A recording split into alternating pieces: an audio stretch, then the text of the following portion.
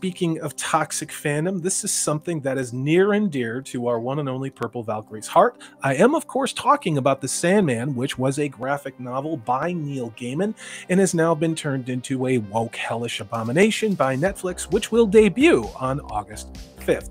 Purple Valkyrie, you had some additional news on this, but we did get a fuller trailer for this.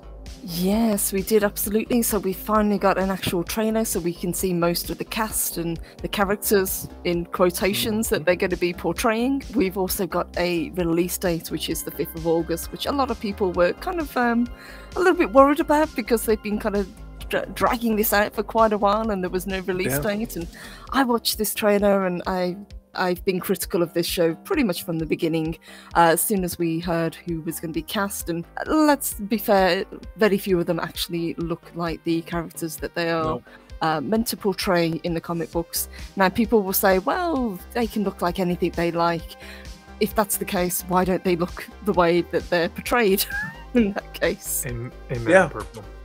I mean, it's not as if Mhm. somebody actually not just wrote a book, but also drew every single scene hmm for the entire story.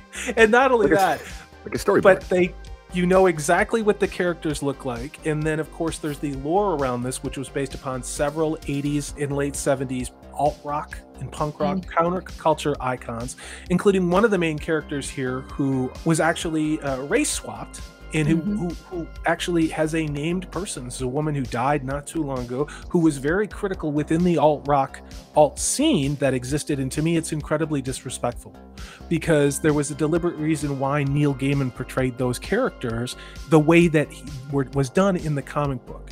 And to me, Netflix had no business changing it. To be honest, a lot of this does fall on Neil himself as well because he is heavily involved in this. If it was a case of where they'd taken his IP and uh, they just kind of run with it, I could kind of see where they were going.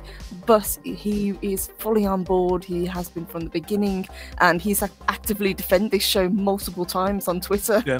when people have said, you know, I, we love these characters, but we're not seeing the characters that we Yeah. were expecting.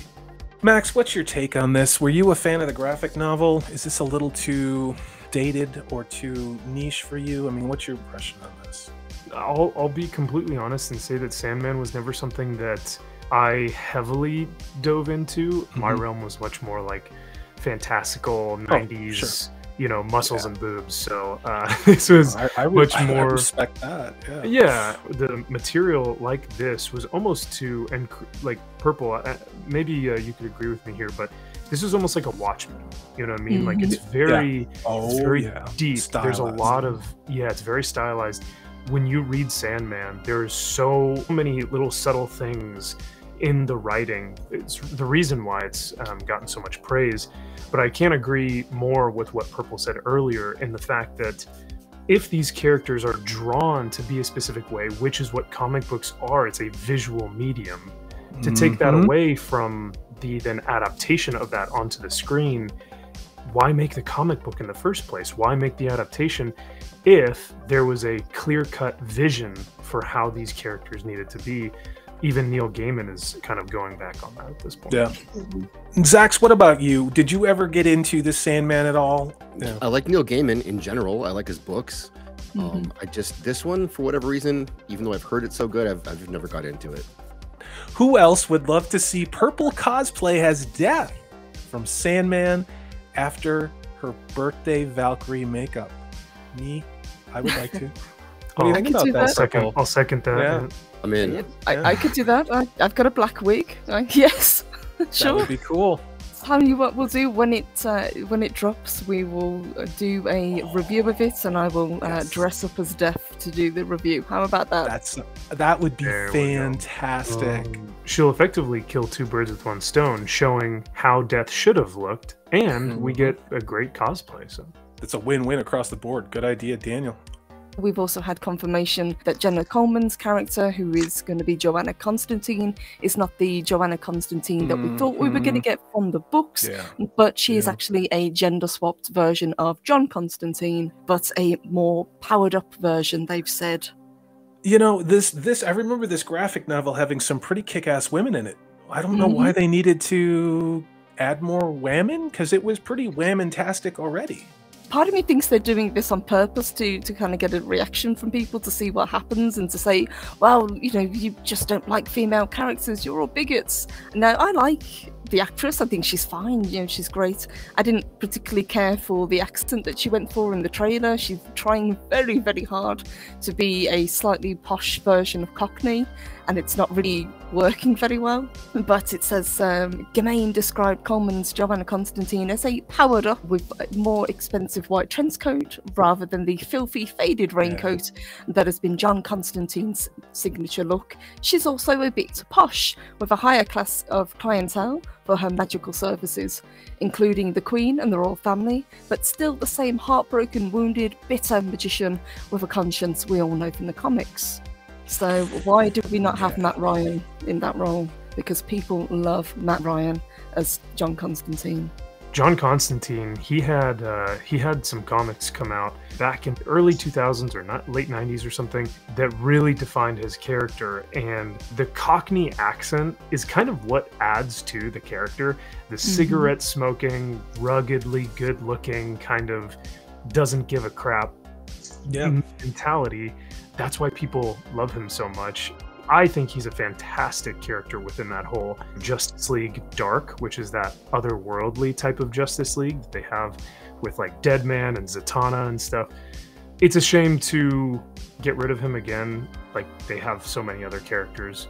Yes, yeah, yeah. And, and, and they've even mm-hmm. taken directly from the from John's Constantine's story arc, as it says here.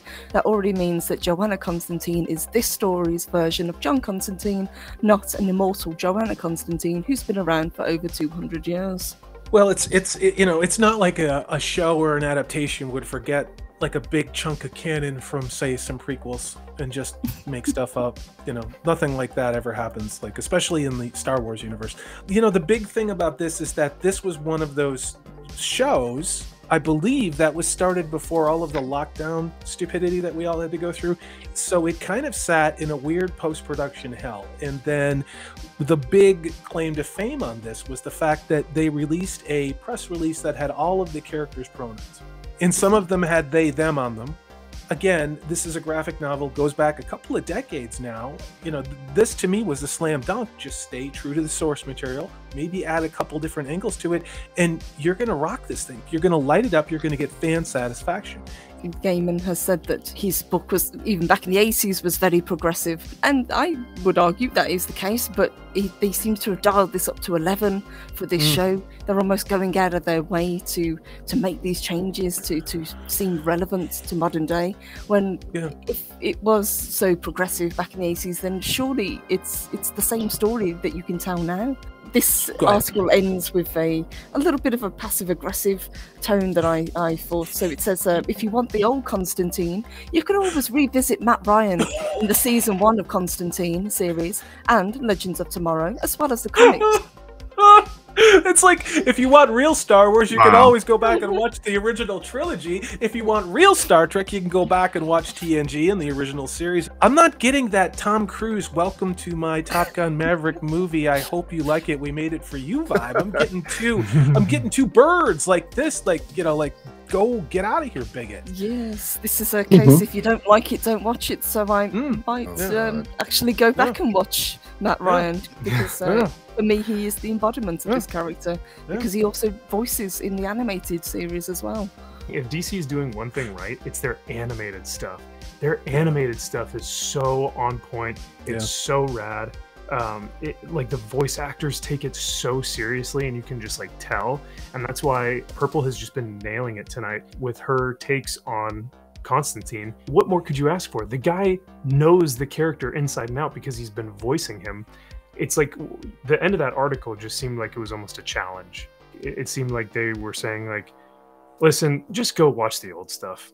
And um, i think a lot of people are kind of in that mode of saying fine i will you know, they're taking that challenge. They're going, all right, yeah, I would gladly go do that. Has ever. This is Salty Texas C. I am Corey DB. Thanks so much for watching. If you like what you've seen and heard, please hit that thumbs up button.